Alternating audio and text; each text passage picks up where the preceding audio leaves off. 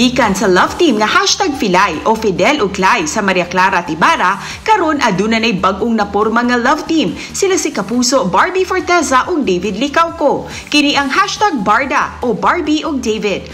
Ang Barda fans gipakilig sa act out marriage proposal scene nilang duha gikan sa music video nga ilang gibidahan ang The Way You Look at Me.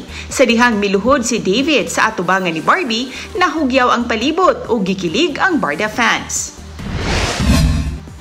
And speaking of kilig, super sweet usab ang real-life couple nga sila si Paul Salas ug Mikey Quintos o mas naila silang mga fans nga hashtag Polky.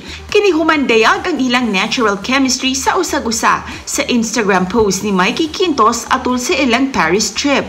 Ang duha makita matagabi sa romantic drama fantasy series nga The Right One.